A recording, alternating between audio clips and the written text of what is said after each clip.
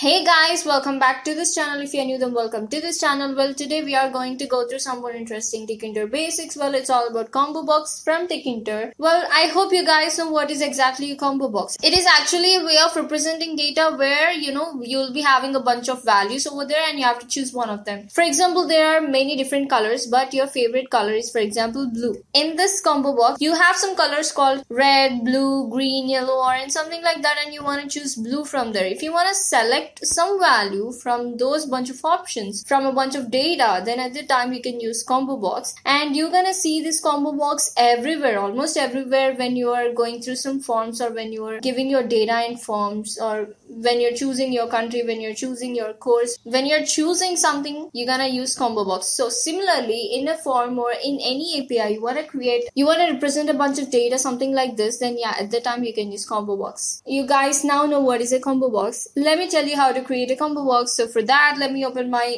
favorite VS Code editor. You guys open your favorite editor and start coding with me. So guys, I'm here in this Tkinter basics file. We have learned about windows, we have learned about labels, we know how to get input from the user. And in the same way, combo box is also a way of taking input from the user from the bunch of options that you gave to them. You have some options and you want them to choose. And in order to get that choose value, we are going to use combo box and we are going to manipulate that data using this combo box. I'll let you know in a moment. Okay. First, let us know how to create a combo box. Okay, in order to create a combo box, let me clear this one entry.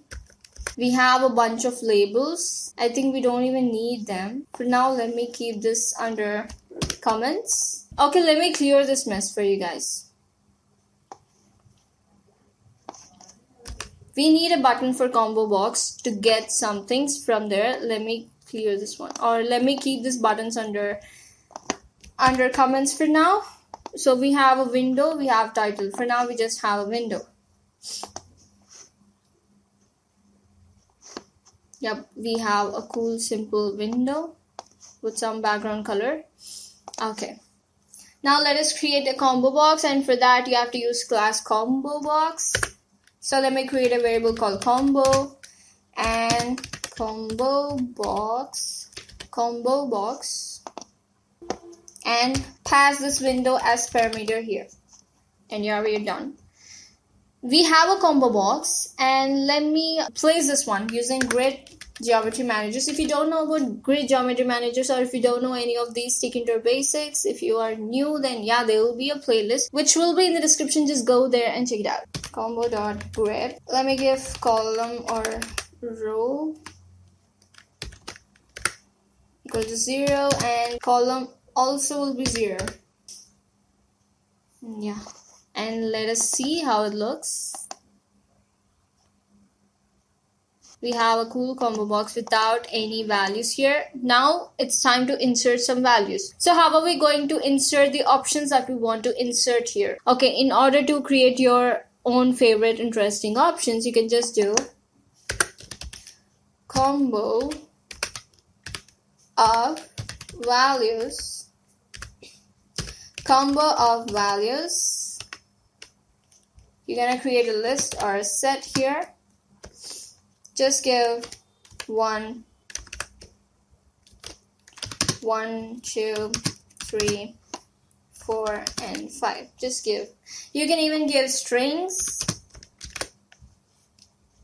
For example, let me give girl and let me give coder. You can even give any kind of data if you want in combo box. Let me rerun this one. Yeah, I think here this time you're gonna see a bunch of options here. One, two, three, four, five, girl, code. You can give string, you can give integers, you can give float. It doesn't matter what type of data you give. You can just give values here. So in order to create your own uh, values or options, you can just give combo values and, and you do it. Okay if you want to select one of them you can just give combo of current combo dot current of one if you want to choose one default option from that combo box you can just give combo dot current of one two three 4, 5, we can give up to, I think, 7 values, right? Uh, it starts from 0 and it's gonna end up to uh, 6, I think. If you give combo.current of 1, then 2 is the one which will be default for combo box. Like if you rerun this one, you will see the 2 as the value here and that's the default value. If you want to set any default value, then for that you can just give combo.current. Okay, and yeah, let's give some space here pad x equal to 10, 10 pixels, and pad y equal to 10 pixels.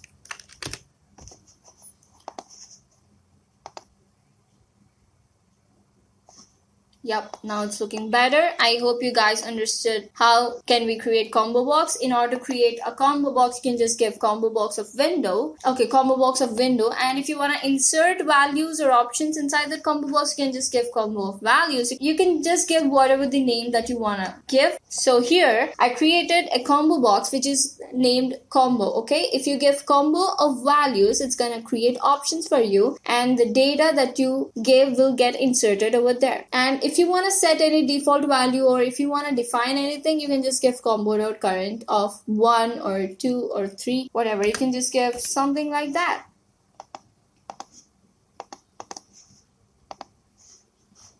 See, this time the default value is 4. If you want to select it, change it, you can change it. Now you created a combo box and user can see this combo box and you want to get that data the thing that user has actually the chosen one. For example, okay, you are the developer, you created combo box for me and I got this combo box and I choose 3. How will you get this data? The thing is, how can we get the data from this combo box? How can we get the chosen value from the user using this combo box? How can we do that? Okay, for that we have to write a code, a bunch of code. For that we need a button we are actually creating some event here, right? Getting the data from the user using that combo box is actually an event. So in order to get data, we have to create an event. So for that, we need a button. So that's the reason we are actually creating a button. We already have button. So here, instead of first entry, we'll give first combo box or first data, something like that. First data let's give first data. The reason why we are getting this error here is we didn't created that function yet. So the interpreter is a bit confused about this thing. Let me create function here. First data so let us create a variable called result equal to combo dot get. Combo dot get. Dot get is actually the thing where we can get the data from the combo okay? Object combo. Let's see. Print result. If you give print result. And if you run this one. Okay now I got a beautiful button. Let me give girl click me and I'm gonna see girl as output here. I hope you are you guys are seeing girl as output, right? And if I give coder and click girl coder, yeah, coder as the output. So we got coder as output. So using this function, we can get the data from the combo box. And now, if you want to represent this data from the combo box, then yeah, you can just give, you can just create a label. Okay, let me create a label. I hope you guys know how to create a label. All right. How do we create? Label equal to using label and in that pass this window as parameter because in this window we need this variable and just give some text for now. So now we have some text and now let us place this a label. Let us place this label. So label dot grid row equal to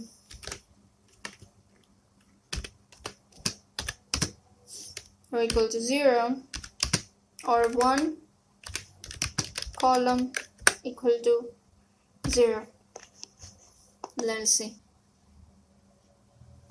hmm. Yeah here we have some cool label.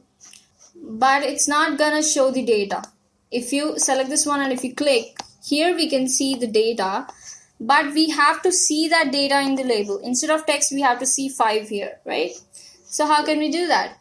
Yes, we did this already in the previous tutorials as well. We can just give label.configure text equal to result. Label dot configure configure text equal to result. Just give something like that and rerun this one. yeah this time yes it's changing right it's it's taking the data and it's changing so yeah in this way we can get the data from the users and we can manipulate it while creating cool interfaces using Tkinter. Now you guys know what is a combo box. You guys already know what exactly is a combo box and you know how to create a combo box. I hope you guys finally got how to create a combo box and how to give values in it and how to insert a value and how to get that value from the user and how you can manipulate it okay? In the next video i'll be back with one more interesting Tkinter basic. If you like the video then hit that cute little like button and, and also never forget to tap the red button over there subscribe button so that you'll never miss an update from us. See you in the next video